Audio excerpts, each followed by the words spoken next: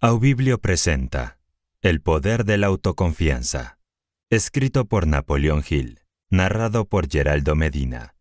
Traducción, edición y revisión del texto de Aubiblio. Para una mejor comprensión del presente audiolibro, te recomendamos escuchar Define tus objetivos. Link en la descripción. El poder de la autoconfianza. En medio de todos los misterios que nos rodean, nada es más cierto que estamos en presencia de una energía infinita y eterna, de la que proceden todas las cosas. Herbert Spencer. Puedes hacerlo si crees que puedes. Antes de abordar los principios fundamentales en los que se basa esta lección, te resultará útil tener en cuenta el hecho de que esta práctica aporta los descubrimientos de más de 25 años de investigación y que cuenta con la aprobación de los principales científicos del mundo que han puesto a prueba cada uno de los principios. El escepticismo es el enemigo mortal del progreso y del desarrollo personal. Es mejor dejar este audiolibro a un lado y detenerse aquí mismo que acercarse a esta lección con la sensación de que ha sido escrita por algún teórico que nunca ha puesto a prueba los principios en los que se basa la lección. Sin duda, esta no es una época para los escépticos, porque es un momento en el que hemos visto descubrir y aprovechar más leyes de la naturaleza que las que se ha visto descubierto en toda la historia de la raza humana. En tres décadas, hemos sido testigos del dominio del aire Hemos explorado el océano. Hemos casi aniquilado las distancias en la Tierra. Hemos aprovechado el rayo y hemos hecho girar las ruedas de la industria. Hemos hecho crecer siete hojas de hierba donde antes solo crecía una. Tenemos comunicación instantánea entre las naciones del mundo. En verdad, esta es una época de iluminación y desarrollo pero apenas hemos acariciado la superficie del conocimiento. Sin embargo, cuando hayamos abierto la puerta que conduce al poder secreto que está almacenado dentro de nosotros, nos traerá un conocimiento que hará que todos los descubrimientos pasados palidezcan en olvido por comparación. El pensamiento es la forma de energía más altamente organizada conocida por el hombre y esta es una época de experimentación e investigación que seguramente nos llevará a una mayor comprensión de esa misteriosa fuerza llamada pensamiento, que reposa dentro de nosotros. Ya hemos descubierto lo suficiente sobre la mente humana para saber que un hombre puede deshacerse de esos efectos acumulados de mil generaciones de miedo, mediante la ayuda del principio de la autosugestión. Ya hemos descubierto el hecho de que el miedo es la razón principal de la pobreza, el fracaso y la miseria que adopta mil formas diferentes. Ya hemos descubierto el hecho de que el hombre que domina el miedo puede marchar hacia el éxito en prácticamente cualquier decisión, a pesar de todos los esfuerzos para derrotarlo. El desarrollo de la confianza en uno mismo comienza con la eliminación de ese demonio llamado miedo, que se posa sobre el hombro del hombre y le susurra al oído. No puedes hacerlo. Tienes miedo de intentarlo. Tienes miedo de la opinión pública. Tienes miedo de fracasar. Tienes miedo de no tener la capacidad. Este demonio del miedo está entrando en el cuerpo a cuerpo la ciencia ha encontrado un arma mortal con la que ponerlo en fuga.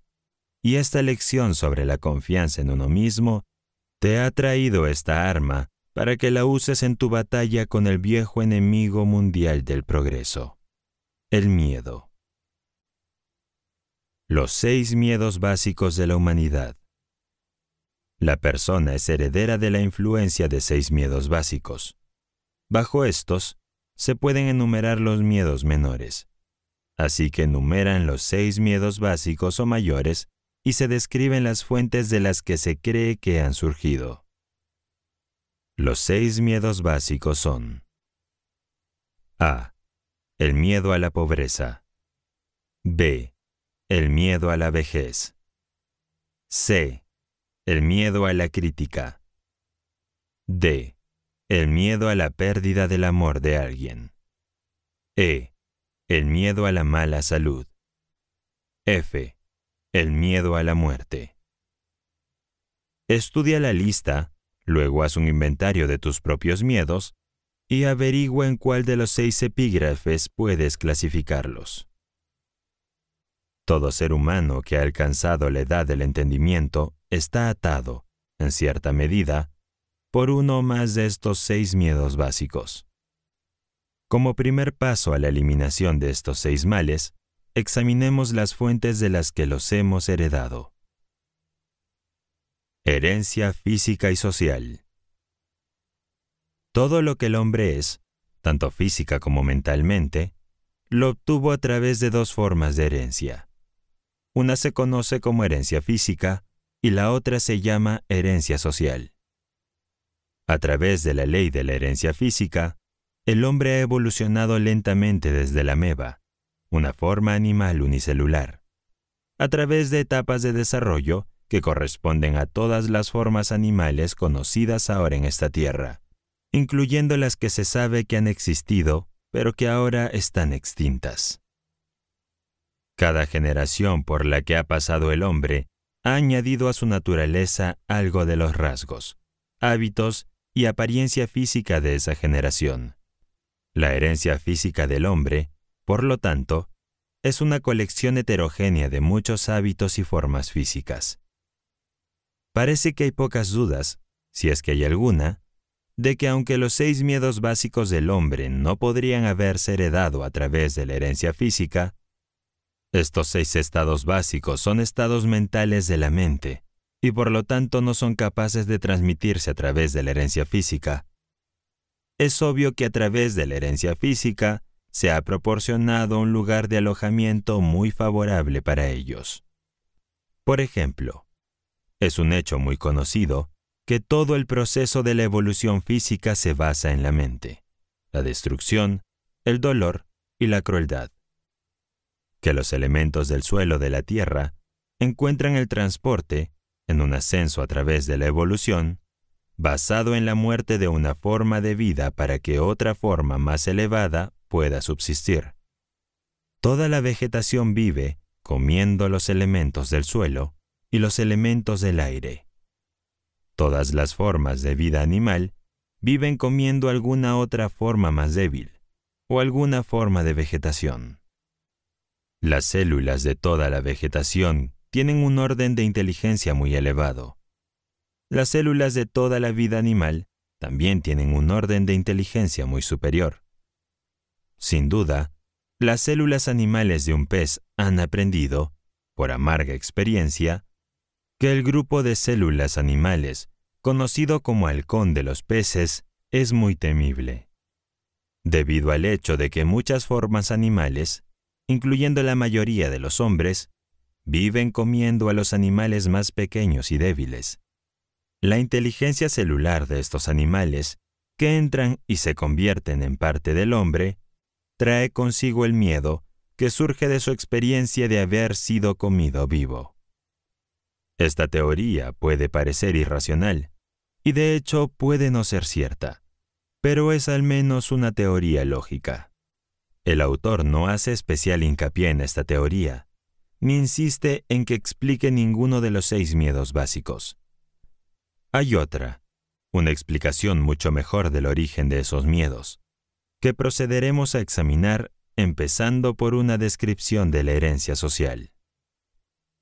La parte más importante de la constitución del hombre le llega a través de la ley de la herencia social, término que hace referencia a los métodos por los que una generación impone a las mentes de la generación bajo su control inmediato las supersticiones, creencias, leyendas e ideas que, a su vez, heredó de la generación anterior.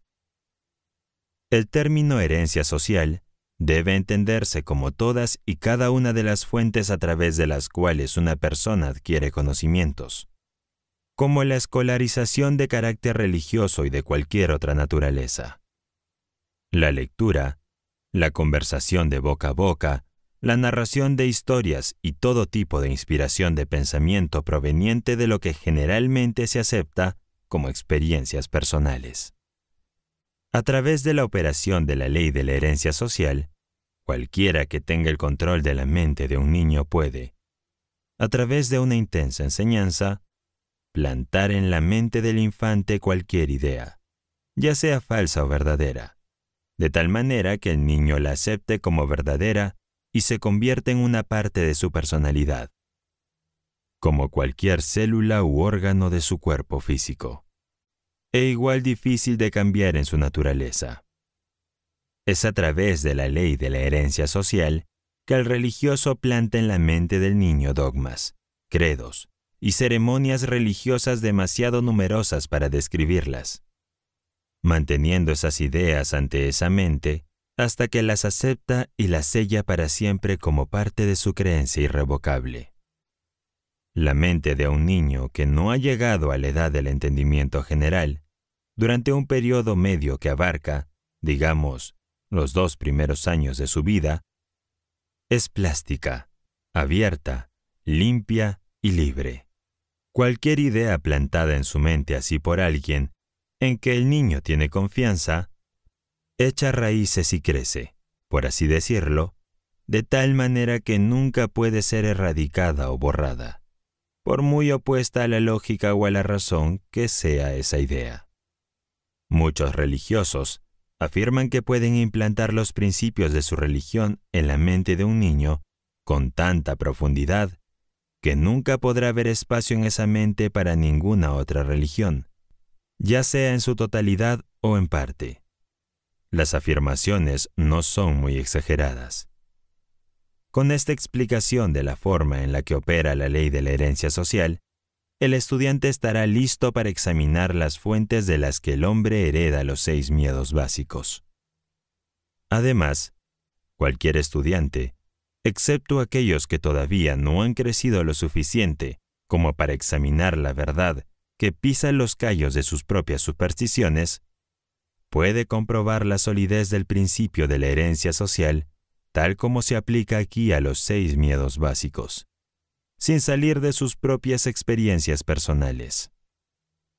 Afortunadamente, prácticamente toda la masa de evidencia presentada en esta lección es de tal naturaleza que todos los que buscan sinceramente la verdad pueden determinar por sí mismos si la evidencia es sólida o no al menos por el momento, deja de lado tus prejuicios e ideas preconcebidas. Siempre puedes volver a retomarlas. Mientras estudiamos el origen y la naturaleza de los seis peores enemigos del hombre, los seis miedos básicos, empezaremos por el miedo a la pobreza. Se requiere valor para decir la verdad sobre el origen de este miedo, y un valor aún mayor, quizás, para aceptar la verdad después de haberla dicho. El miedo a la pobreza surgió de la tendencia heredada del hombre a aprovecharse económicamente de sus semejantes. Casi todas las formas animales inferiores tienen instinto, pero parecen no tener el poder de razonar y pensar. Por lo tanto, se depredan unos a otros físicamente. El hombre, con su sentido superior de la intuición, el pensamiento y la razón, no se come a sus semejantes corporalmente. Le da más satisfacción comérselos financieramente. De todas las épocas del mundo de las que tenemos conciencia, la que vivimos parece ser la del culto al dinero. Un hombre es considerado menos que el polvo de la tierra, a menos que pueda exhibir una abultada cuenta bancaria. Nada trae al hombre tanto sufrimiento y humillación como la pobreza. No es de extrañar que el hombre la tema, a través de una larga línea de experiencias heredadas con el hombre animal. El hombre ha aprendido, con certeza, que no siempre se puede confiar en este animal cuando se trata de asuntos de dinero y otras evidencias de posesiones terrenales. Muchos matrimonios tienen su inicio y a menudo su final, únicamente en función de la riqueza que posee una o ambas partes contratantes. No es de extrañar que los tribunales de divorcio estén ocupados. Sociedad podría escribirse correctamente como sociedad con el símbolo de dólar reemplazando la S inicial, porque está inseparablemente asociada con ese signo. El hombre está tan ansioso de poseer riqueza que la adquiriría de cualquier manera, a través de métodos legales, si es posible, o a través de otros métodos si es necesario. El miedo a la pobreza es algo terrible. Un hombre puede cometer un asesinato, un robo, una violación y cualquier otra forma de violación de derechos de los demás, y aún así recuperar su posición elevada en la mente de sus semejantes siempre que no pierda su riqueza. La pobreza, por tanto, es un crimen, un pecado imperdonable, por así decirlo. No es de extrañar que el hombre lo tema. Todos los libros de leyes del mundo demuestran que el miedo a la pobreza es uno de los seis miedos básicos de la humanidad, ya que en todos esos libros de leyes se puede encontrar diversas leyes destinadas a proteger a los débiles de los fuertes. Dedicar tiempo a intentar demostrar que el miedo a la pobreza es uno de los miedos heredados del hombre, o que este miedo tiene su origen en la naturaleza del hombre para engañar a sus semejantes, sería similar a intentar demostrar que tres por dos son seis. Evidentemente, ningún hombre temería la pobreza si tuviera algún motivo para confiar en sus semejantes, pues hay comida, refugio, vestimenta, y lujos de toda índole suficiente para las necesidades de cada persona en la tierra, y todas estas bendiciones serían disfrutadas por cada persona si no fuera por el hábito que tiene el hombre de tratar de expulsar a todos los demás cerdos del comedor, incluso después de tener todo y más de lo que necesita. El segundo de los seis miedos básicos con los que el hombre está atado es el miedo a la vejez. En general, este miedo surge de dos fuentes. En primer lugar, la idea de que la vejez puede traer consigo la pobreza. En segundo lugar, y con mucho la fuente de origen más común, de las falsas y crueles enseñanzas sectarias que han sido también mezcladas con fuego y azufre, y con purgatorios y otros bugis que los seres humanos han aprendido a temer la vejez porque significaba la aproximación de otro mundo, y posiblemente mucho más horrible, que este que se sabe que es bastante malo. En el temor básico a la vejez, el hombre tiene dos razones muy sólidas para su aprensión. Una que surge de la desconfianza a sus semejantes, que pueden apoderarse de cualquier bien mundano que posea, y la otra que surge de las terribles imágenes del mundo venidero, que fueron profundamente plantadas en su mente, a través de la ley de la herencia social, mucho antes que entrar en posesión de esa mente. ¿No es de extrañar que el hombre tema la llegada de la vejez? El tercero de los seis miedos básicos es el miedo a la crítica. Sería difícil, si no imposible, determinar definitivamente cómo el hombre adquirió este miedo básico. Pero una cosa es segura, lo tiene en forma bien desarrollada. Algunos creen que ese temor hizo su aparición en la mente del hombre alrededor del momento en que surgió la política. Otros creen que su origen no puede rastrearse más allá de la primera reunión de una organización de mujeres conocidas como Club de Mujeres. Otra escuela de humoristas atribuye el origen al contenido de la Santa Biblia, en cuyas páginas abundan algunas formas muy vitriólicas y violentas de crítica. Si esta última afirmación es correcta, y los que creen literalmente todo lo que encuentran en la Biblia no están equivocados, entonces Dios es el responsable del miedo inherente del hombre a la crítica, porque Dios hizo que se escribiera la Biblia. Este autor, que no es ni humorista ni un profeta, sino una persona común y corriente, se inclina por atribuir el miedo básico a la crítica a esa parte de la naturaleza heredada del hombre, no solo a quitarle a su prójimo sus bienes y mercancías, sino a justificar su acción mediante la crítica del carácter de su prójimo. El miedo a la crítica adopta muchas formas diferentes, la mayoría de las cuales son de naturaleza insignificante y superficial, incluso hasta el punto de ser infantil en extremo. Los calvos, por ejemplo, tienen miedo a la crítica. Las cabezas se quedan calvas debido a la protección de los sombreros con bandas ajustadas que cortan la circulación en las raíces del cabello. Los hombres llevan sombreros, no porque realmente los necesiten o por comodidad, sino principalmente porque todo el mundo lo hace, y el individuo se pone a la cola y lo hace también, no sea que algún otro individuo lo critique. Las mujeres rara vez tienen la cabeza calva, o incluso el pelo fino, porque llevan sombreros sueltos, cuya única finalidad es aparentar. Pero no hay que imaginar que las mujeres están libres del miedo a la crítica asociada a los sombreros. Si alguna mujer pretende ser superior al hombre en lo que se refiere a este miedo, pregúntale si va por la calle con un sombrero que esté pasado de moda una o dos temporadas. Los fabricantes de todo tipo de ropa no han tardado en capitalizar este miedo básico a la crítica, con el que toda la humanidad está maldita. Cada temporada cambian los estilos en muchos artículos de ropa. ¿Quién establece los estilos? Ciertamente no el comprador de ropa, sino el fabricante. ¿Por qué cambia los estilos tan a menudo? Obviamente, este cambio se hace para que el fabricante pueda vender más ropa. Por la misma razón que los fabricantes de automóviles, con algunas raras y muy sensatas excepciones, cambian el estilo de cada temporada.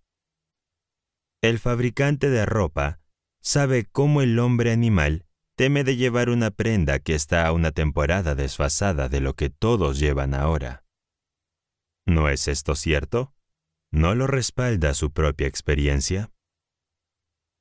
Hemos estado describiendo la manera en que las personas se comportan bajo la influencia del miedo a la crítica, aplicado a las cosas pequeñas y mezquinas de la vida. Examinemos ahora el comportamiento humano bajo este miedo cuando afecta a las personas en relación con los asuntos más importantes relacionados con el trato humano. Tomemos, por ejemplo, prácticamente cualquier persona que haya alcanzado la edad de madurez mental, de 35 a 45 años de edad, como promedio general. Y si pudiéramos leer su mente, encontraríamos en ella una incredulidad muy decidida y una rebelión contra la mayoría de las creencias enseñadas por la mayoría de religiosos. Poderoso es el miedo a la crítica. Hubo un tiempo y no hace mucho, en que la palabra infiel significaba la ruina para quien la aplicara. Se ve, por tanto, que el miedo del hombre a la crítica no carece de una amplia causa para su existencia. El cuarto miedo básico es el de el miedo a perder el amor de alguien. El origen de este miedo no necesita ser descrito ya que es obvio que surgió de la naturaleza del hombre para robar a su compañera, o al menos para tomarse libertades con ella, desconociendo a su legítimo señor y dueño. Por naturaleza, todos los hombres son polígamos. La afirmación de una verdad que, por supuesto, traerá negaciones de aquellos que son demasiado viejos para funcionar de una manera sexual normal, o han, por alguna razón, perdido el contenido de ciertas glándulas que son responsables de la tendencia del hombre hacia la pluralidad del sexo opuesto. No cabe duda de que los celos y todas las demás formas similares de demencia praecox, locura, más o menos leve, surgieron del miedo heredado del hombre a la pérdida del amor de alguien. De todos los locos cuerdos, estudiados por este autor, el representado por un hombre que se ha vuelto celoso de una mujer, o el de una mujer que se ha vuelto celosa de algún hombre, es el más raro y extraño. El autor, afortunadamente, nunca tuvo más que un caso de experiencia personal con esta forma de locura. Pero de esa experiencia aprendió lo suficiente como para justificar su afirmación de que el miedo a la pérdida del amor de alguien es uno de los más dolorosos, si no el más doloroso, de todos los seis miedos básicos.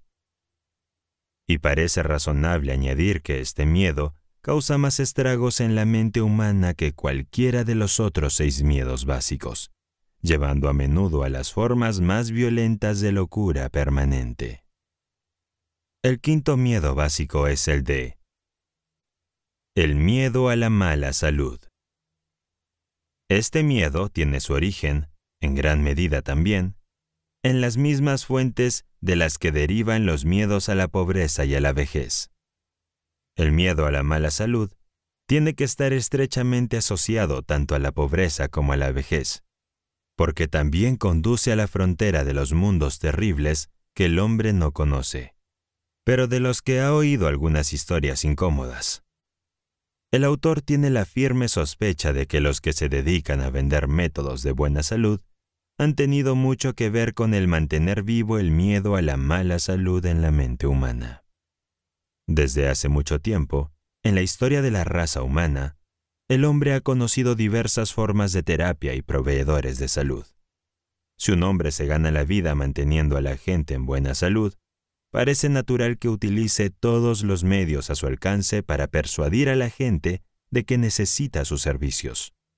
Así, con el tiempo, podría ser que la gente heredara el miedo a la mala salud.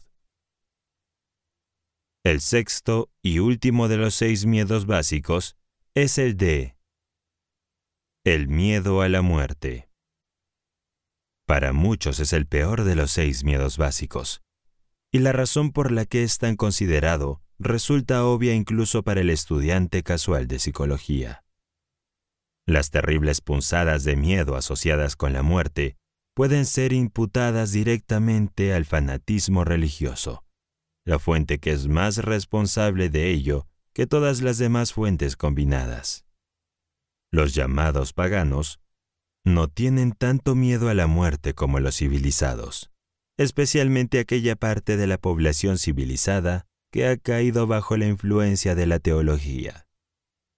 Durante cientos de millones de años, el hombre se ha planteado las preguntas aún sin respuesta. Y tal vez sin respuesta definitiva. ¿Qué? ¿Y de dónde vengo y a dónde voy después de la muerte? Todos los más astutos y taimados como los honestos pero crédulos de la raza no han tardado en ofrecer la respuesta a estas preguntas. De hecho, la respuesta a estas preguntas se ha convertido en una de las llamadas profesiones eruditas, a pesar de que se requiere muy poco aprendizaje para entrar en esta profesión. Testigo, ahora, de la mayor fuente de origen del miedo a la muerte. Entra en mi tienda, abraza mi fe, acepta mis dogmas y paga mi salario y te daré un billete que te admitirá directamente en el cielo cuando mueras. Dice el líder de una forma de sectarismo. Quédense fuera de mi tienda. Dice este mismo líder. E irán directamente al infierno, donde arderán durante toda la eternidad. Mientras que, en la actualidad, el autoproclamado líder puede no ser capaz de proporcionar un salvoconducto al cielo, ni, por la falta de tal provisión, permitir que el desafortunado buscador de la verdad descienda al infierno, la posibilidad de este último parece tan terrible que se apodera de la mente y cree ese miedo de los miedos, el miedo de la muerte. En verdad, ningún hombre sabe, y ningún hombre ha sabido nunca, cómo es el cielo o el infierno o si esos lugares existen, y esta misma falta de conocimiento definitivo abre la puerta de la mente humana al charlatán para que entre y controle esa mente con sus acciones de presdigitación y diversas marcas de engaño, falsedad y fraude. La verdad es esta, que ningún hombre sabe ni nunca ha sabido de dónde nacemos o a dónde vamos al morir. Cualquier persona que afirme lo contrario, o bien se engaña a sí misma, o bien es un impostor consciente que se dedica a vivir sin prestar un servicio de valor, jugando con la credulidad de la humanidad. Sin embargo, la mayoría de los que se dedican a vender billetes para el cielo creen saber dónde está el cielo y que sus credos y fórmulas darán un paso seguro a quienes lo abracen. Esta creencia puede resumirse en una palabra. Credulidad. Los líderes religiosos, por lo general, hacen la afirmación amplia y generalizada de que la civilización actual debe su existencia al trabajo realizado por las iglesias.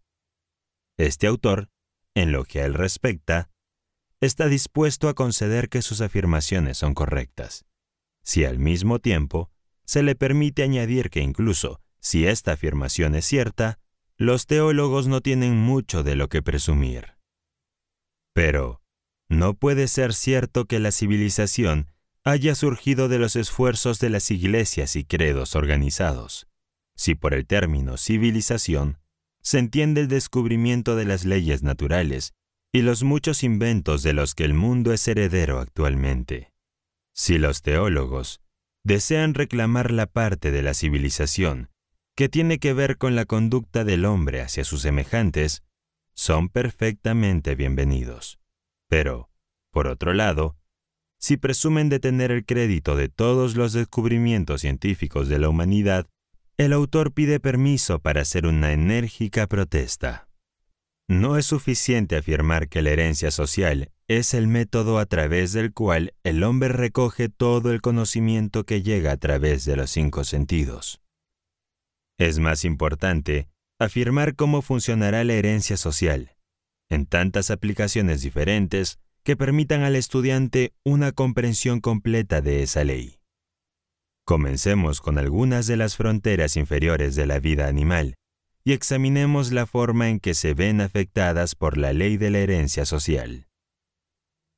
Poco tiempo después de que este autor comenzara a examinar las principales fuentes, de donde los hombres obtienen los conocimientos que los convierten en lo que son, hace unos treinta y tantos años, descubrió el nido de un urogallo. El nido estaba situado de tal manera que la madre podía ser vista desde una distancia considerable cuando estaba en el nido. Con la ayuda de un par de gafas de campo, el ave fue observada de cerca hasta que las crías salieron del cascarón. Sucedió que la observación diaria habitual se realizó solo unas horas después de que los jóvenes salieran del cascarón. Deseando saber qué iba a pasar, el autor se acercó al nido. La madre permaneció cerca hasta que el intruso estuvo a unos tres o cuatro metros de ella. Entonces se despojó de sus plumas, estiró su ala sobre su pierna y se alejó cojeando, fingiendo estar lisiada. Como estaba familiarizado con los trucos de las madres de pájaros, el autor no la siguió, sino que se acercó al nido para echar un vistazo a los pequeños. Sin el menor signo de temor, volvieron los ojos hacia él, moviendo primero la cabeza en un sentido y luego en otro. Se agachó y cogió a uno de ellos.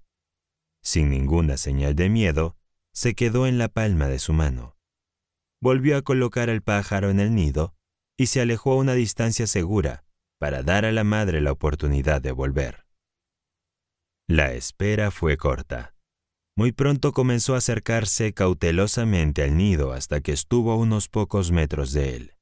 Y entonces extendió sus alas y corrió tan rápido como pudo, emitiendo, mientras tanto, una serie de sonidos similares a los de una gallina cuando ha encontrado algún bocado de comida y desea llamar a su cría para que participe en él. Reunió a los pajaritos a su alrededor y continuó temblando de forma muy excitada, agitando sus alas y erizando sus plumas. Casi se podían oír sus palabras mientras daba a los pajaritos su primera lección de autodefensa, a través de la ley de herencia social. Criaturas tontas. ¿No saben que los hombres son sus enemigos? Debería darles vergüenza permitir que ese hombre los coja en sus manos. Es una maravilla que no los haya cargado y comido vivas. La próxima vez que vean a un hombre acercarse, escóndanse túmbense en el suelo, corran bajo las hojas, vayan a cualquier sitio para perderse de vista y permanezcan alejadas hasta que el enemigo esté bien encaminado. Los pajaritos se mantuvieron alrededor y escucharon la conferencia con intenso interés. Cuando la madre se calmó, el autor volvió a acercarse al nido. Cuando se encontraba a unos seis metros del hogar custodiado, la madre comenzó de nuevo a guiarle en la dirección contraria, arrugando el ala y cojeando como si estuviera lisiada. Miró al nido, pero la mirada fue en vano. Los pajaritos no aparecían por ninguna parte. Habían aprendido rápidamente a evitar a su enemigo natural, gracias a su instinto natural. Una vez más, el autor se retiró Esperó a que la madre volviera a reunir a su familia y salió a visitarlos, pero con resultados similares. Cuando se acercó al lugar donde había visto por última vez a la madre, no encontró el más mínimo rastro de los pequeños. Cuando era pequeño, el autor capturó un cuervo joven y lo convirtió en su mascota. El pájaro se adaptó bien a su entorno doméstico y aprendió a realizar muchos trucos que requerían una inteligencia considerable. Cuando el pájaro creció lo suficiente como para volar, se le permitió ir a donde quisiera. A veces se ausentaba durante muchas horas, pero siempre regresaba a casa antes del anochecer. Un día unos cuervos salvajes se ensarzaron en una pelea con un búho en un campo cercano a la casa donde vivía el cuervo mascota. En cuanto la mascota oyó el granizado de sus parientes salvajes, se subió a la casa y, con signos de agitación, caminó de un extremo a otro de la casa. Finalmente levantó el vuelo y se dirigió a la batalla. El autor lo siguió para ver qué pasaba. En pocos minutos se encontró con la mascota. Estaba sentada en las ramas más bajas de un árbol, y dos cuervos salvajes estaban sentados en una rama justo encima, parloteando y caminando de un lado a otro, actuando de forma muy parecida a como se comportan los padres enfadados con sus hijos cuando los castigan. Cuando el autor se acercó, los dos cuervos salvajes salieron volando, uno de ellos dando varias vueltas alrededor del árbol, mientras dejaba escapar un terrible flujo de lenguaje de lo más abusivo que, sin duda, iba dirigido a su insensato pariente que no tenía el suficiente sentido común para volar mientras el vuelo era bueno. Se llamó a la mascota, pero ésta no le hizo caso. Esa noche volvió a casa, pero no se acercó a ella. Se sentó en una rama alta en un manzano y habló el lenguaje de cuervo durante unos diez minutos, diciendo sin duda que había decidido volver a la vida salvaje de sus congéneres. Y luego se fue volando, y no volvió hasta dos días después, cuando regresó y volvió a hablar en lenguaje de cuervo, manteniéndose mientras tanto a una distancia segura. Luego se fue y no volvió. La herencia social le había robado al autor una buena mascota. La gente pensaba que había demostrado un gran gesto al volver y avisar de su intención de marcharse. Muchos granjeros habían dejado la granja sin tomarse la molestia de esta formalidad. Es un hecho bien conocido que el zorro ceba con todo tipo de aves y animales pequeños, a excepción de la mofeta. No es necesario explicar por qué el zorrillo goza de inmunidad. Un zorro puede enfrentarse a una mofeta una vez, pero nunca dos. Por esta razón, una piel de zorrillo, cuando se clava en un gallinero, mantendrá a todos los zorros, excepto al más joven e inexperto, a una distancia segura. El olor de una mofeta, una vez experimentado, nunca se olvida. Ningún otro olor se le parece ni remotamente. No consta que ninguna madre de zorro haya enseñado a sus crías a detectar el olor familiar de una mofeta y a mantenerse alejadas de él. Pero todos los que están informados sobre la sabiduría del zorro saben que los zorros y las mofetas nunca buscan alojamiento en la misma cueva. Pero una lección es suficiente para enseñar al zorro todo lo que quiere saber sobre las mofetas. A través de la ley de la herencia social, que opera mediante el sentido del olfato, una lección sirve para toda la vida. Una rana toro puede ser atrapada en un anzuelo atando un pequeño trozo de tela roja o cualquier otro objeto rojo pequeño al anzuelo y colgándolo delante de la nariz de la rana. Es decir, la rana puede ser atrapada de esta manera, siempre y cuando sea enganchada la primera vez que muerda el cebo.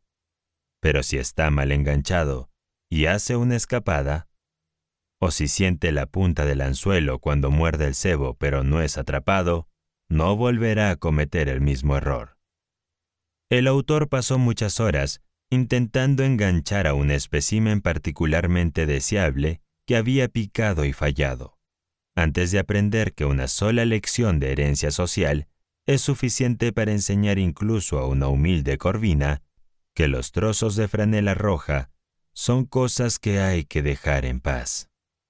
El autor tuvo una vez un excelente perro macho de la raza Airedale, que causaba muchas molestias por su costumbre de llegar a casa con un pollo joven en la boca. En cada ocasión, se le quitaba el pollo y se le reprendía, pero era inútil. Seguía con su afición a las aves.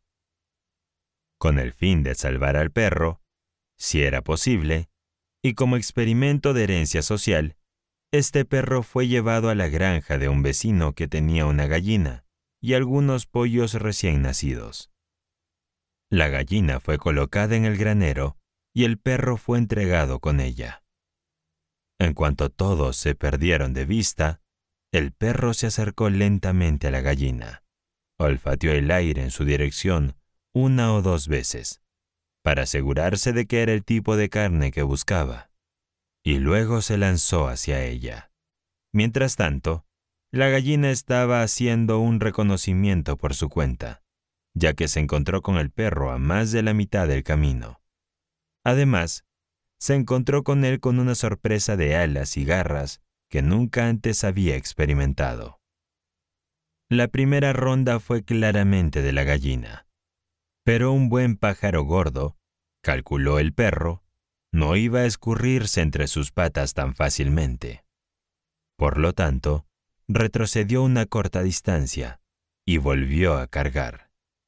Esta vez la gallina se lanzó sobre su espalda, le clavó las garras en la piel e hizo un uso eficaz de su afilado pico. El perro se retiró a su esquina, con la apariencia de estar esperando que alguien tocara la campana, y suspendiera la pelea hasta que se orientara. Pero la gallina no tenía tiempo para deliberar. Tenía a su adversario en fuga y demostró que conocía el valor de la ofensiva al mantenerlo en fuga. Casi se podían entender sus palabras mientras azotaba al pobre Airedale de una esquina a otra, manteniendo una serie de sonidos rápidos que parecían las reprimendas de una madre enfadada a la que se le había pedido que defendiera su vástago de un ataque de chicos mayores. El Airedale era un pobre soldado. Después de correr por el granero de esquina a esquina durante unos dos minutos, se tendió en el suelo tan plano como pudo e hizo todo lo posible por protegerse los ojos con las patas. La gallina parecía hacer un intento especial en picotear sus ojos. El dueño de la gallina intervino entonces y la recuperó. O, para ser más exactos, recuperó al perro, lo que no pareció contar con la desaprobación de la perra. Al día siguiente, se colocó una gallina en el sótano donde dormía el perro. En cuanto vio al ave, metió el rabo entre las patas y corrió hacia un rincón. Nunca más intentó atrapar a una gallina. Una lección de herencia social a través del sentido del tacto fue suficiente para enseñarle que, si bien la persecución de pollos puede ofrecer cierta diversión, también está plagada de muchos peligros. Todos estos ejemplos, a excepción del primero, describen el proceso de adquisición de conocimientos a través de la experiencia directa. Obsérvese la marcada diferencia entre los conocimientos adquiridos por experiencia directa y los que se adquieren mediante el adiestramiento de las crías por parte de los mayores, como en el caso del urogallo y sus crías. Las lecciones más impresionantes son las que aprenden los jóvenes de los viejos, a través de métodos de enseñanzas muy coloreados o emocionados. Cuando la madre urogallo despliega sus alas, eriza sus plumas, se agita como un hombre que sufre de parálisis y parlotea a sus crías de manera muy excitada. Les planta el miedo al hombre en sus corazones de una manera que nunca van a olvidar. El término herencia social tal como se utiliza en la relación con esta lección, se refiere en particular a todos los métodos a través de los cuales se enseña a un niño cualquier idea, dogma, credo, religión o sistema de conducta ética, por parte de sus padres o de aquellos que pueden tener autoridad sobre él, antes de alcanzar la edad en la que se puede razonar y reflexionar sobre dicha enseñanza a su manera estimando la edad de dicho poder de razonamiento en, digamos, 7 a 12 años. Hay muchas formas de miedo, pero ninguna es más mortífera que el miedo a la pobreza y a la vejez. Manejamos nuestros cuerpos como si fuéramos esclavos, porque tenemos tanto miedo a la pobreza que deseamos acumular dinero para la vejez. De esta forma común de miedo, nos impulsa tanto que sobrecargamos nuestro cuerpo y provocamos lo mismo que estamos luchando por evitar. Qué tragedia es ver a un hombre conducirse a sí mismo cuando comienza a llegar a lo largo del puesto de 40 años de la vida, la edad en la que apenas comienza a madurar mentalmente. A los 40 años, un hombre está ingresando en la edad en la que es capaz de ver y comprender y asimilar la escritura de la naturaleza, tal como aparece en los bosques y en los arroyos que fluyen, y en los rostros de los hombres y de los niños pequeños.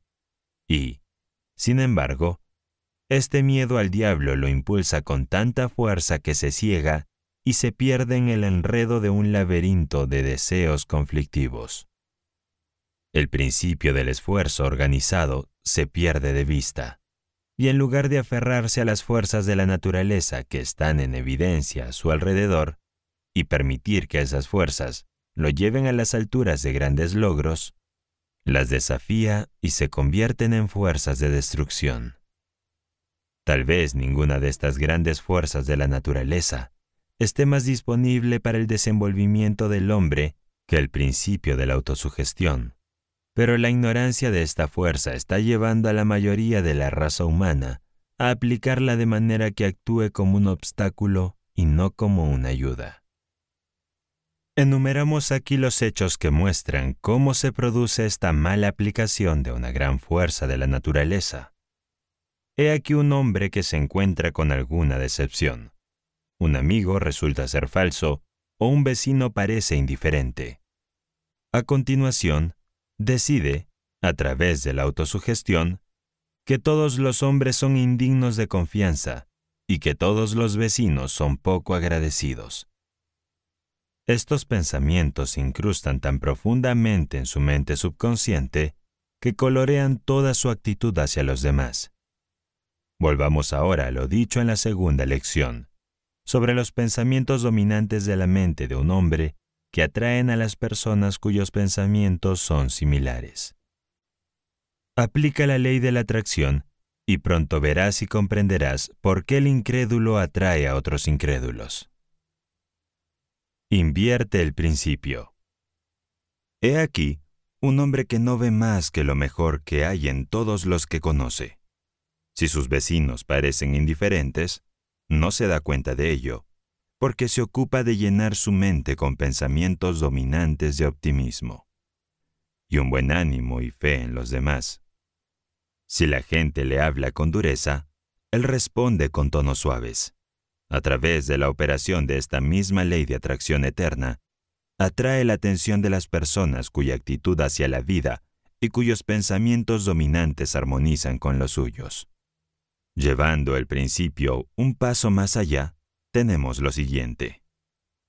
He aquí un hombre que ha sido bien educado y tiene la capacidad de prestar al mundo un servicio necesario en algún lugar y momento, ha oído decir que la modestia es una gran virtud y que colocarse al frente del escenario en el juego de la vida es una muestra de egoísmo.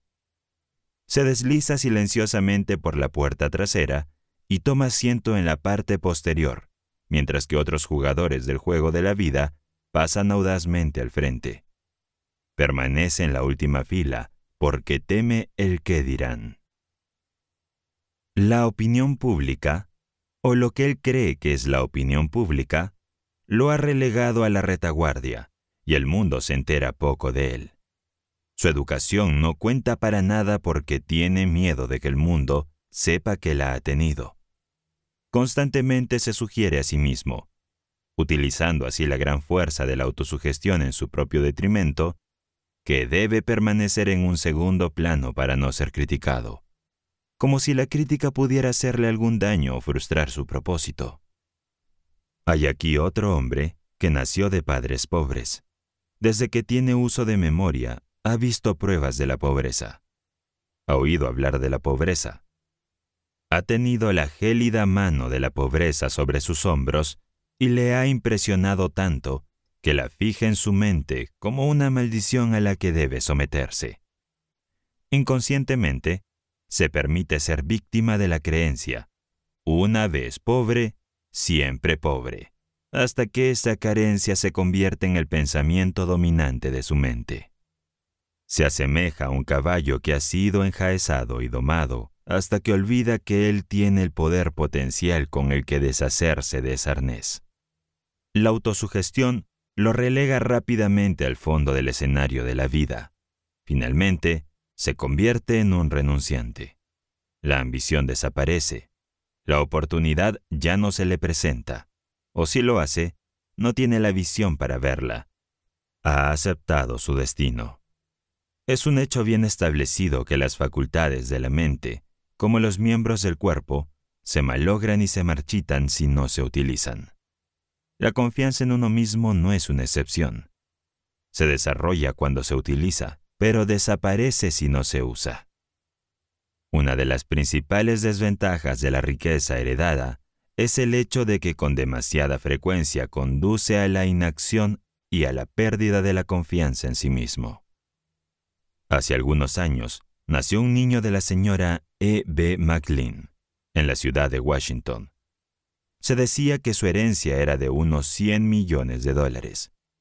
Cuando este bebé fue llevado a ventilar en su carruaje, fue rodeado por enfermeras y asistentes de enfermería, y detectives y otros sirvientes, cuyo deber era ver que no le ocurriera ningún daño. Con el paso de los años, se mantuvo esta misma vigilancia. Este niño no tenía que vestirse solo, tenía sirvientes que lo hacían. Los sirvientes lo vigilaban mientras dormía y mientras jugaba. No se le permitía hacer nada que un criado pudiera hacer por él. Había crecido hasta la edad de 10 años. Un día estaba jugando en el patio y se dio cuenta de que la puerta trasera estaba abierta. En toda su vida nunca había salido solo de esa puerta. Y naturalmente, eso era lo que deseaba hacer.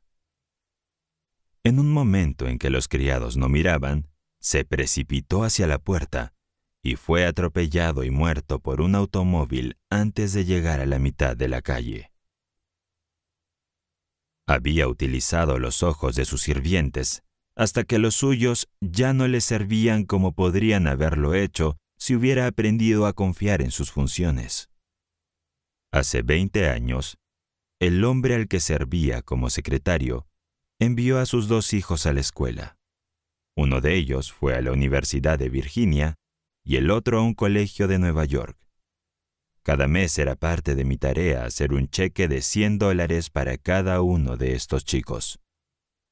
Este era su dinero para el PIN, para que lo gastaran como quieran. Recuerdo con mucho provecho la forma en que envidiaba a esos muchachos cuando extendía esos cheques cada mes. A menudo me preguntaba por qué la mano del destino me trajo al mundo en la pobreza. Podía mirar hacia adelante y ver cómo esos chicos llegarían a las altas esferas de la vida, mientras yo seguía siendo un humilde empleado. A su debido tiempo, los chicos volvieron a casa con sus pieles de oveja. Su padre era un hombre rico que poseía bancos, ferrocarriles, minas de carbón y otras propiedades de gran valor. A los chicos les esperaban buenos puestos en la empresa de su padre. Sin embargo, 20 años de tiempo pueden jugarle una mala pasada a los que nunca han tenido que luchar. Tal vez sería mejor decir que el tiempo da a los que nunca han tenido que luchar la oportunidad de jugarse una mala pasada. En cualquier caso, estos dos chicos trajeron a casa de la escuela otras cosas además de sus pieles de oveja. Volvieron con capacidades bien desarrolladas para la bebida fuerte. Capacidades que desarrollaron porque los 100 dólares que cada uno de ellos recibía cada mes hacían innecesaria su lucha. La suya es una larga y triste historia, cuyos detalles no le interesarán, pero sí su finis. Mientras escribo esta lección, tengo sobre mi mesa un ejemplo del periódico publicado en la ciudad donde vivían estos chicos. Su padre ha quebrado y su costosa mansión, donde nacieron los chicos, ha sido puesta en venta. Uno de los chicos murió de delirium tremens y el otro está en un manicomio. No todos los hijos de los hombres ricos resultan tan desafortunados, pero el hecho es sin embargo, que la inacción conduce a la atrofia, y esta, a su vez, a la pérdida de la ambición y de la confianza en sí mismo.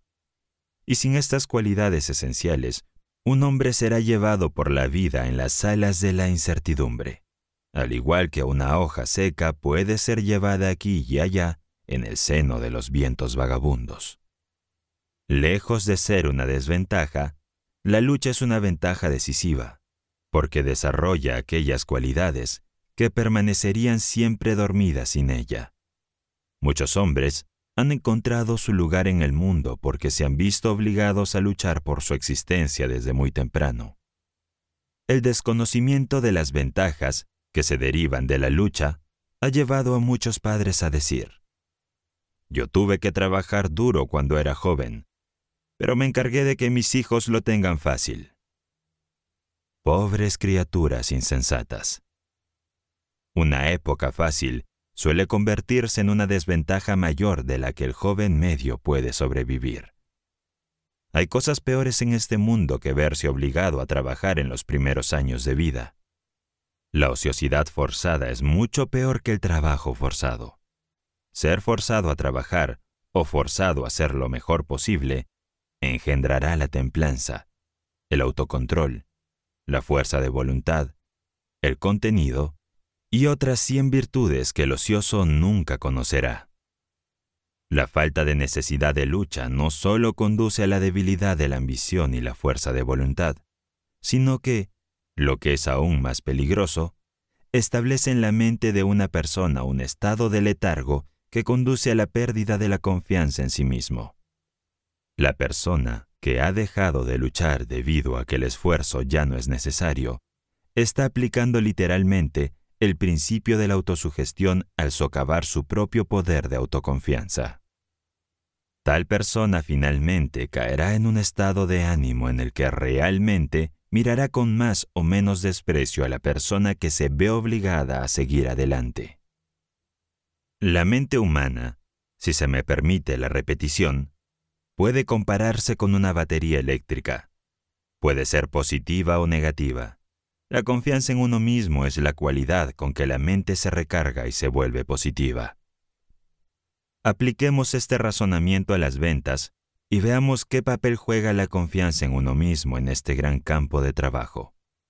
Uno de los mejores vendedores que ha visto este país fue una vez un empleado de una oficina de periódicos. Merecerá la pena analizar el método con el que se ganó el título de principal vendedor del mundo. Era un joven tímido con un carácter más o menos retraído. Era uno de los que creen que es mejor colarse por la puerta de atrás y sentarse en la parte posterior del escenario de la vida. Una noche, escuchó una conferencia sobre el tema de esta lección, la autoconfianza, y esa conferencia le impresionó tanto que salió de la sala de conferencias con la firme determinación de escapar del atolladero en que se había metido. Se dirigió al director de negocios del periódico y pidió un puesto como solicitante de publicidad, y se le puso a trabajar a comisión. Todo el mundo en la oficina esperaba verlo fracasar, ya que este tipo de ventas requiere el tipo más positivo en la capacidad de venta.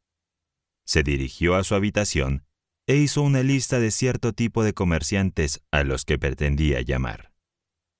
Uno se pensaría que naturalmente habría hecho su lista con los nombres de aquellos a los que creía que podía vender con el menor esfuerzo, pero no hizo nada de eso.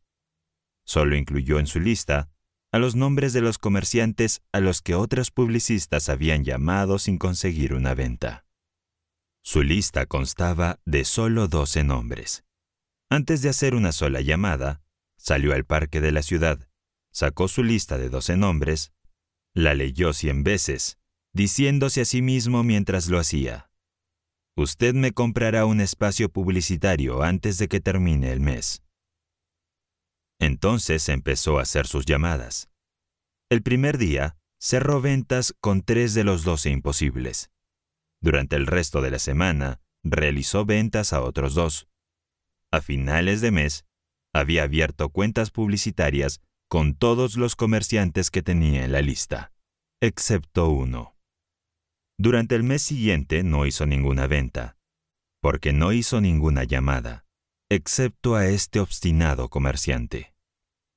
Todas las mañanas al abrir la tienda, estaba presente para entrevistar a este comerciante, y todas las mañanas este comerciante decía no.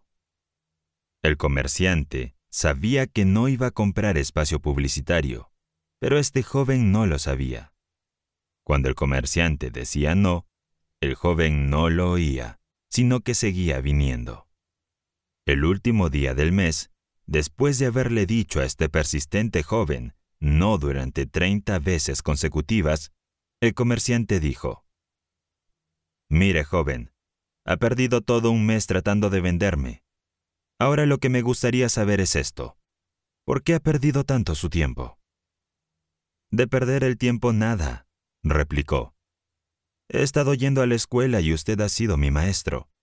Ahora conozco todos los argumentos que un comerciante puede utilizar para no comprar.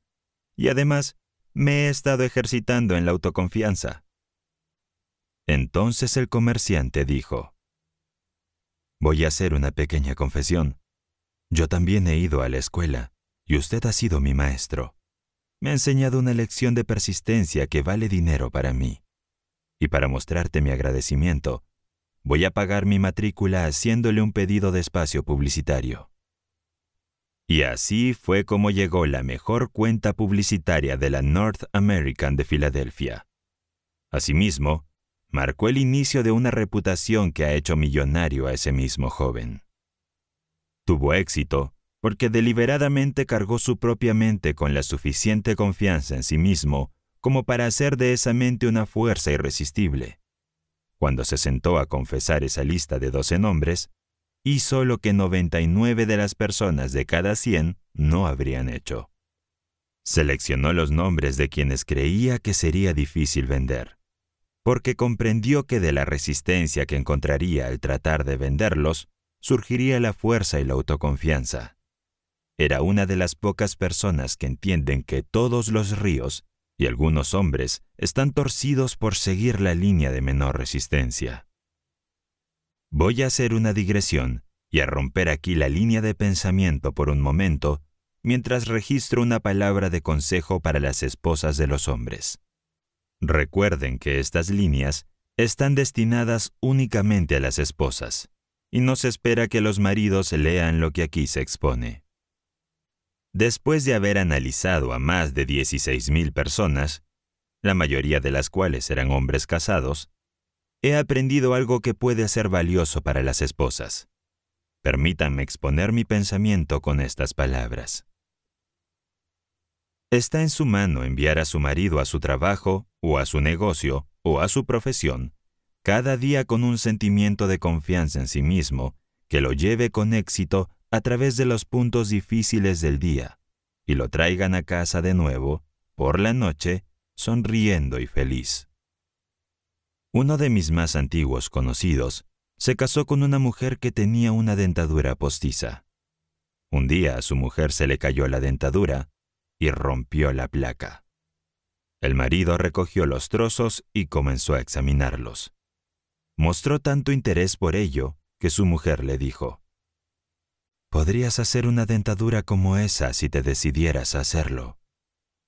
Este hombre era un agricultor cuyas ambiciones nunca le habían llevado más allá de los límites de su pequeña granja hasta que su mujer hizo ese comentario. Se acercó a él, le puso la mano en el hombro y le animó a probar la odontología. Finalmente lo convenció para que empezara, y en la actualidad es uno de los dentistas más prominentes y exitosos del estado de Virginia. Lo conozco bien, porque ese hombre es mi padre. Nadie puede predecir las posibilidades del logro disponibles para el hombre cuya esposa está a su espalda y lo motiva a realizar esfuerzos más grandes y mejores, porque es un hecho bien conocido que una mujer puede despertar a un hombre para que realice hazañas casi sobrehumanas. Es tu derecho y tu deber alentar a tu marido e instarlo a que se dedique a tareas valiosas hasta que encuentre su lugar en el mundo. Usted puede inducirlo a esforzarse más que cualquier otra persona. Hágale creer que nada, dentro de lo razonable, está más allá de su poder de logro, y habrá prestado un servicio que le ayudará mucho a ganar la batalla de la vida. Uno de los hombres con más éxito en su línea en América da todo el crédito de su éxito a su esposa. Cuando se casaron, ella escribió un credo que le firmó y colocó sobre su escritorio. Esta es una copia del credo. Creo en mí mismo. Creo en los que trabajan conmigo. Creo en mi empleador. Creo en mis amigos. Creo en mi familia.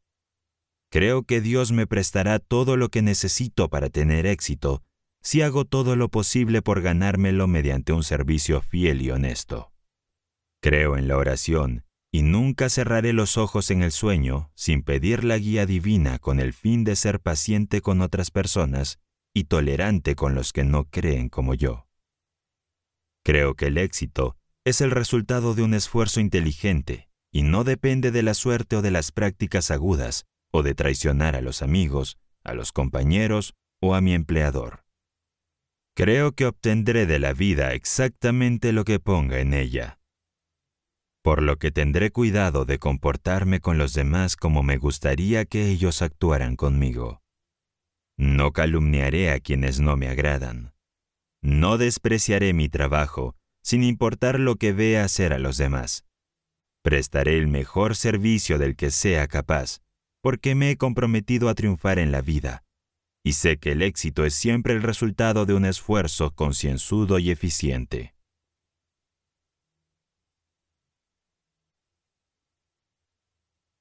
Y el esposo firmó este credo. La mujer que escribió este credo era una psicóloga prácticamente de primer orden. Con la influencia y la guía de una mujer así, cualquier hombre podría alcanzar un éxito notable. Analice este credo y se dará cuenta de la libertad con la que se utiliza el pronombre personal. Comienza con la afirmación de la confianza en sí mismo, que es perfectamente adecuada. Ningún hombre podría ser suyo este credo sin desarrollar la aptitud positiva que atraería hacia él a las personas que le ayudarían en su lucha por el éxito. Este sería un credo espléndido que todo vendedor debería adoptar. Puede que no perjudique sus posibilidades de éxito si lo repite y cree en él. Sin embargo, la simple adopción no es suficiente. Debe practicarlo. Léalo una y otra vez hasta que se lo sepa de memoria. Luego repítalo al menos una vez al día hasta que lo haya transformado literalmente en su estructura mental. Tenga una copia delante de usted como recordatorio diario de su compromiso de practicarlo. De este modo, utilizará eficazmente el principio de la autosugestión como medio para desarrollar la confianza en sí mismo. No se preocupe por lo que puedan decir de su procedimiento. Solo recuerde que es su negocio tener éxito, y este credo, si lo domina y lo aplica, le ayudará mucho. Usted aprendió en la lección 2 que cualquier idea que fije firmemente en su mente subconsciente, mediante la afirmación repetida, se convertirá automáticamente en un plan o plano que un poder invisible utiliza para dirigir sus esfuerzos hacia el logro del objetivo nombrado en el plan. También ha aprendido que el principio mediante el cual puede fijar cualquier idea que elija en su mente se llama autosugestión, que significa simplemente una sugerencia que le da su propia mente. Fue este principio de autosugestión el que Emerson tenía en mente cuando escribió, Nada puede traerte la paz sino tú mismo. Debe recordar que nada puede traerte el éxito sino usted mismo. Por supuesto, necesitará la cooperación de los demás si pretende alcanzar un éxito de gran alcance, pero nunca obtendrá esta cooperación a menos que vitalice su mente con la actitud positiva de la confianza en usted mismo. Tal vez se haya preguntado por qué unos pocos hombres avanzan a puestos altamente remunerados, mientras que otros a su alrededor, que tienen tanta formación y que aparentemente realizan tanto trabajo, no avanzan. Seleccione dos personas de estos dos tipos y estúdielas. Y la razón por la que una avanza y la otra se queda quieta le resultará bastante obvia. Verá que el que avanza cree en sí mismo se dará cuenta de que respalda esta creencia con una acción tan dinámica y agresiva que hace saber a los demás que cree en sí mismo. También notará que esta confianza en sí mismo es contagiosa, es impelente, es persuasiva, atrae a los demás. También percibirá que el que no avanza muestra claramente, por la mirada de su rostro, por la postura de su cuerpo, por la inseguridad con la que habla, que carece de toda autoconfianza. Nadie va a prestar mucha atención a la persona que no tiene confianza en sí misma. No atrae a los demás porque su mente es una fuerza negativa que repele en lugar de atraer. En ningún otro campo de la actividad, la autoconfianza o la falta de ella desempeña un papel tan importante como el campo de la venta y no hace falta ser analista del carácter para determinar, en el momento en que se le conoce, si un vendedor posee esta cualidad de autoconfianza. Si la tiene, los signos de su influencia están escritos en él. Le inspira confianza en él y en los productos que vende desde el momento en que habla. Llegamos ahora al punto en el que usted está listo para tomar el principio de la autosugestión y hacer uso directo de él para convertirse en una persona positiva, dinámica y autosuficiente. Se le pide que copie la siguiente fórmula y la firme y la memorice. La fórmula de la autoconfianza. Primero, sé que tengo la capacidad de alcanzar el objetivo de mi propósito definido, por lo que me exijo una acción persistente, decisiva y continua hacia su consecución. Segundo, me doy cuenta de que los pensamientos dominantes de mi mente eventualmente se reproducen en la acción exterior, corporal, y gradualmente se transforman en la realidad física. Por lo tanto, concentraré mi mente durante 30 minutos diarios en la tarea de pensar en la persona que pretendo ser, creando una imagen mental de esta persona y luego transformando esa imagen en la realidad a través del servicio práctico.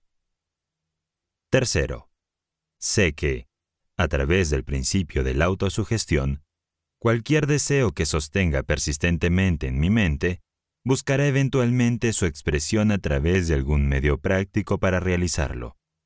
Por lo tanto, dedicaré 10 minutos diarios a exigir de mí mismo el desarrollo de los factores nombrados en las 16 lecciones de este curso de lectura sobre la ley del éxito. Cuarto, he trazado y escrito claramente una descripción de mi propósito definido en la vida para los próximos cinco años. He fijado un precio a mis servicios para cada uno de estos cinco años, un precio que pretendo ganar y recibir mediante la aplicación estricta del principio de servicio eficiente y satisfactorio que prestaré por adelantado. Quinto, me doy cuenta de que ninguna riqueza o posición puede durar mucho tiempo si no se construye sobre la verdad y la justicia. Por lo que no me comprometeré en ninguna transacción que no beneficie a todos aquellos a los que afecta. Tendré éxito atrayendo hacia mí las fuerzas que deseo utilizar y la cooperación de otras personas. Induciré a los demás a servirme porque yo les serviré primero. Eliminaré el odio, la envidia, los celos, el egoísmo y el cinismo, desarrollando el amor por toda la humanidad, porque sé que una actitud negativa hacia los demás nunca podrá traerme éxito. Haré que los demás crean en mí, porque yo creeré en ellos y en mí mismo. Firmaré esta fórmula con mi nombre, la memorizaré y la repetiré en voz alta una vez al día, con la plena fe de que influirá gradualmente en toda mi vida, para que me convierta en un trabajador exitoso y feliz en el campo que elija. Antes de firmar esta fórmula, asegúrese de que tiene la intención de llevar a cabo sus instrucciones. Detrás de esta fórmula hay una ley que nadie puede explicar. Los psicólogos se refieren a esta ley como autosugestión y lo dejan así, pero debe tener en cuenta un punto sobre el que no hay incertidumbre, y es el hecho de que, cual sea esta ley, realmente funciona. Otro punto que debe tenerse en cuenta es el hecho de que, al igual que la electricidad, hará girar las ruedas de la industria, y servirá a la humanidad de un millón de otras maneras, o apagará la vida si se aplica incorrectamente. Porque este principio de la autosugestión le llevará a la ladera de la montaña de la paz y la prosperidad, o hacia abajo en el valle de la miseria y de la pobreza, de acuerdo con la aplicación que haga de ella. Si usted llena su mente con la duda y la incredulidad en su capacidad para lograr, entonces el principio de la autosugestión toma este espíritu de incredulidad y lo establece en su mente subconsciente como pensamiento dominante, y poco a poco, pero con seguridad, lo arrastrará en el torbellino del fracaso. Pero, si llena su mente con radiante autoconfianza, el principio de autosugestión toma esta creencia y la establece como su pensamiento dominante y lo ayuda a dominar los obstáculos que caen en su camino hasta que alcance la cima de la montaña del éxito.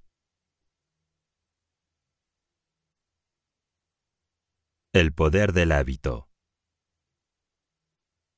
Habiendo experimentado yo mismo todas las dificultades que se interponen en el camino de aquellos que carecen de la comprensión para hacer una aplicación práctica de este gran principio de la autosugestión, permítanme llevarles por un breve camino hacia el principio del hábito, a través del cual pueden aplicar fácilmente el principio de la autosugestión en cualquier dirección y para cualquier propósito. El hábito surge del entorno, de hacer lo mismo, de pensar los mismos pensamientos o de repetir las mismas palabras una y otra vez. El hábito puede compararse con el surco de un disco fonográfico mientras que la mente humana puede compararse con la aguja que encaja en ese surco.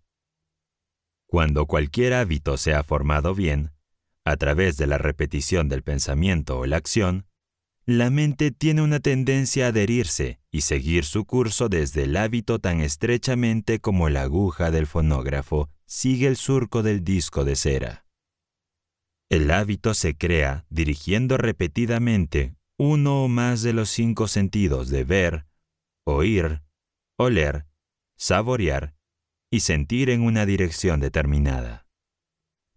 Es a través de este principio de repetición que se forma el hábito de la droga perjudicial. Con este mismo principio, el deseo de la bebida embriagadora se convierte en un hábito. Una vez que el hábito se ha establecido bien, controlará y dirigirá automáticamente nuestra actividad corporal en la que se puede encontrar un pensamiento que puede transformarse en un poderoso factor en el desarrollo de la autoconfianza. El pensamiento es el siguiente. Dirige voluntariamente, y por la fuerza si es necesario, tus esfuerzos y tus pensamientos a lo largo de una línea deseada hasta que hayas formado el hábito que se apoderará de ti y continúa, voluntariamente, dirigiendo tus esfuerzos a lo largo de la misma línea. El objetivo de escribir y repetir la fórmula de la autoconfianza es formar el hábito de hacer que la creencia en uno mismo sea el pensamiento dominante de su mente, hasta que ese pensamiento se haya incrustado completamente en su mente subconsciente, a través del principio del hábito. Aprendiste a escribir dirigiendo repetidamente los músculos del brazo y de la mano sobre ciertos contornos conocidos como letras, hasta que finalmente formaste el hábito de trazar esos contornos. Ahora escribes con facilidad y rapidez, sin trazar cada letra lentamente. Escribir se ha convertido en un hábito para ti. El principio del hábito se apoderará de las facultades de tu mente de la misma manera que influirá en los músculos físicos de tu cuerpo. Como puedes comprobar fácilmente dominando y aplicando esta lección sobre la autoconfianza. Cualquier afirmación que te hagas repetidamente a ti mismo, o cualquier deseo que siembres profundamente en tu mente a través de una afirmación repetida, buscará eventualmente su expresión a través de tus esfuerzos físicos corporales externos. El principio del hábito es el fundamento mismo sobre el que se construye esta lección sobre la autoconfianza en sí mismo. Y si entiendes y sigues las instrucciones establecidas en esta lección, pronto sabrás más sobre la ley del hábito, desde el conocimiento de primera mano, de lo que podría ser enseñado por un millar de lecciones como esta. No tienes más que una pequeña concepción de las posibilidades que permanecen dormidas dentro de ti esperando que la mano de la visión te despierte. Y nunca tendrás una mejor concepción de estas posibilidades a menos que desarrolles suficiente confianza en ti mismo para elevarte por encima de las influencias comunes de tu entorno actual.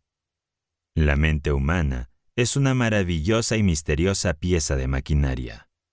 Un hecho que me recordaron hace unos meses cuando leí los ensayos de Emerson y releí su ensayo sobre las leyes espirituales. Pero sucedió algo extraño.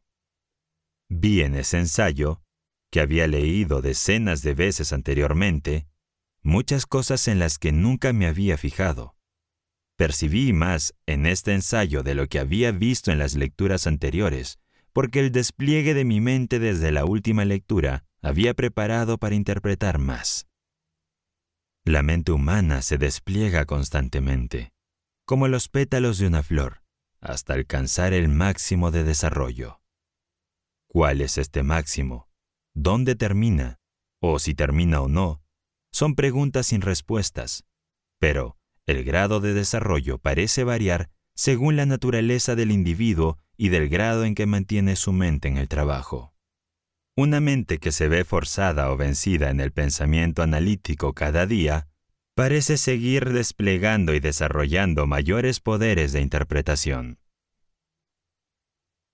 En Louisville, Kentucky, vive el señor Lee Cook, un hombre que prácticamente no tiene piernas y tiene que desplazarse en un carro. A pesar de que el señor Cook no tiene piernas desde que nació, es dueño de una gran industria y millonario gracias a su propio esfuerzo. Ha demostrado que un hombre puede arreglárselas muy bien sin piernas si tiene una confianza en sí mismo bien desarrollada.